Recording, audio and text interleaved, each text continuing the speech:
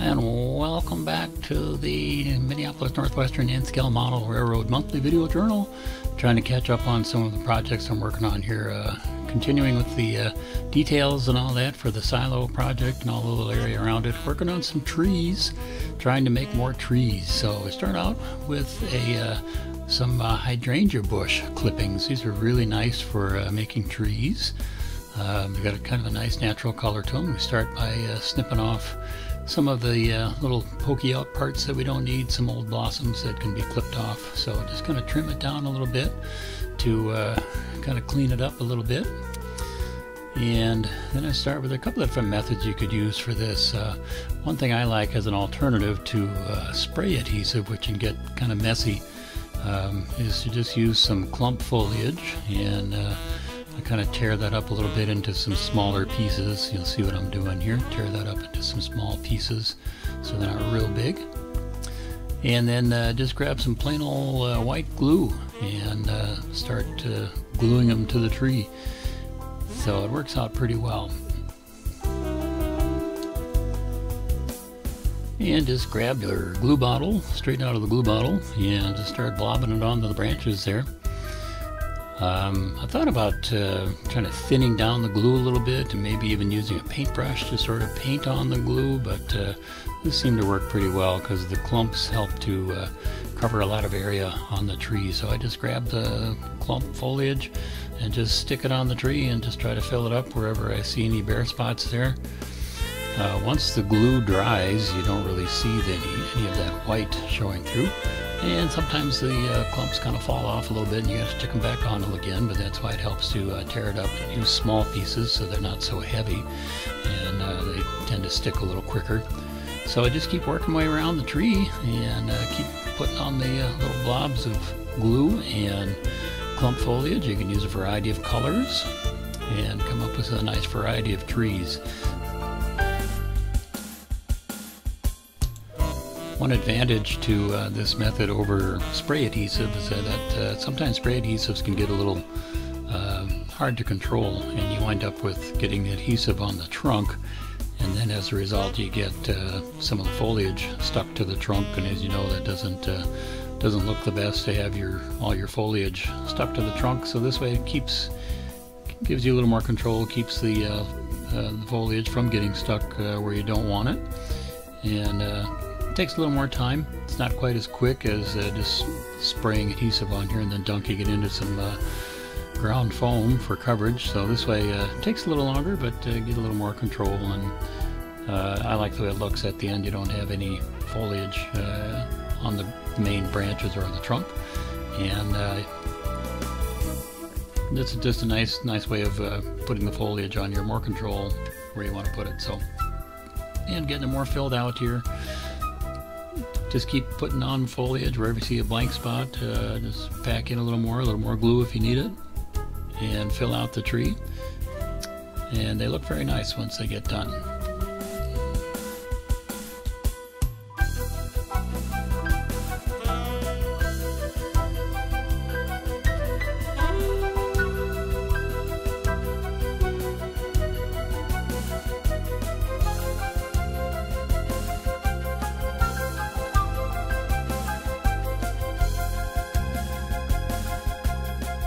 Is a alternative method. It's the same idea of uh, putting the glue on all the branches first and then just uh, dip the tree into some uh, coarse uh, ground foam and uh, that's another way of doing it just to uh, um, instead of using the clumps you can just dip it right into some coarse ground foam. And that idea works pretty well too but it doesn't quite get the same coverage as using the clump foliage but it's a little quicker, uh, gives you a little different look.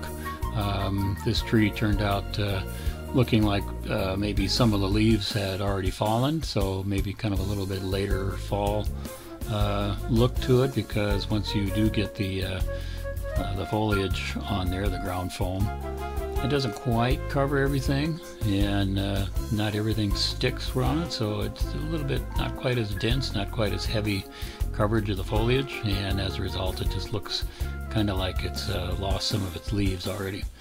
But it's still kind of an interesting little look to it.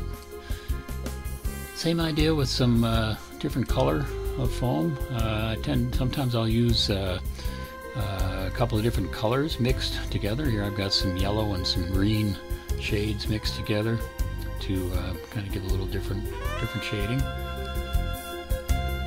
And here's a variety of colors that you can use on the uh, on the trees. Get a nice nice uh, uh, set of colors for your fall colors. Still some green in there as well. So nice variety of colors helps uh, give you a good good fall look. I use some uh, mix of colors. You can see I've got some yellow in here and some orange, even some uh, uh, kind of real faint uh, green, faded green in that. Here's another mix of little batch of mix of colors. Got some yellow and green in there. Helps to give a little variety to uh, the trees. So they look very nice once they're done. Uh, we'll get into the, planting the trees in the next video. I'm sorry I didn't have much time this month to work on this video, so I don't really have a whole lot of time to plant the trees and show you where they go but uh, get an idea how you're making them. Meanwhile, back on the silo project, trying to finish up these white silos. I put some uh, details around the top. You can see that uh, railing around the top and the safety ladders around there. I'll show you how that was done. That was kind of a tricky deal. I tried three different ways. The third way was finally, uh, I had success with that. The first two were didn't work very well. So uh, finally came up with a method that worked, and I'll give you the rundown on what I did there.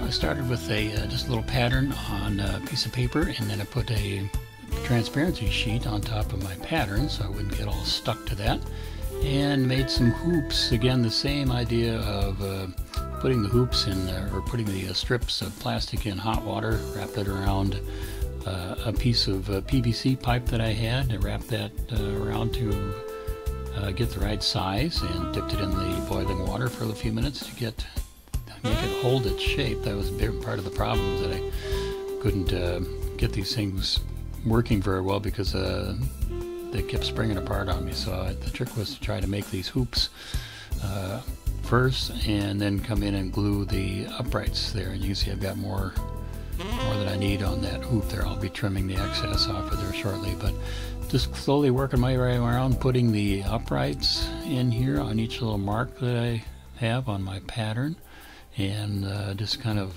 carefully worked my way around. The uh, pattern here, of course, is the same diameter as the silo, and once I got all my uprights in there, just about all the way around, got one more to put in, and it helps to actually kind of get the um, pieces actually stuck to the uh, transparency sheet here because it's kind of like uh, almost like having a little bit of tape to hold everything together. So it kind of helps to have that on there, but you have to be careful that when you remove it from the uh, transparency sheet, you make sure that you've got everything loose and you don't end up pulling it all apart, which is what I, I did the first time.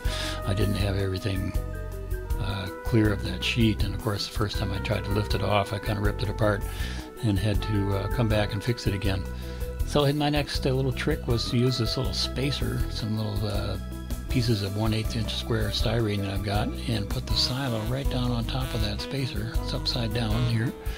And once the silo is uh, on there, I can come back and uh, go around the uh, base of the silo. A little bit of adjusting here, and then work my way around the base with some cement, and just cement those little posts right to the side of the silo there and that worked out pretty well. Helped to keep the railing nice and even around the top. And then, as I said, it's a little tricky getting that that uh, hoop separated from the over the uh, transparency sheet. Uh, my first attempt, I didn't do it right and ended up tearing it apart. I had to come back and do it again. Uh, this time made very careful that everything was separated before I lifted the silo off the pattern. And there we go. Okay, now everything's looking very nice here. Now all this still needed just a little bit of adjustment and uh, not all the uprights got glued securely to the top of the silo, but uh, it was easy to go around and fix that. just add a little more glue and hold them into place. So there's my upper railing and I snipped out a couple uh, spaces in the railing to make room for the ladders. I made two more safety cage ladders. You can see there, a little fuzzy. Sorry about that. My camera wouldn't focus for me. And then I also had to cut out two little spots on the upper railing there for my rooftop uh, details there. So um, managed to get that all put together. So back on the layout, everything's looking very nice. Again, I'm uh, sorry I didn't have a whole lot of time to work on this video. So hope you enjoyed that. We'll see you next time on the monthly video journal. Whoopee! See you later. Bye-bye.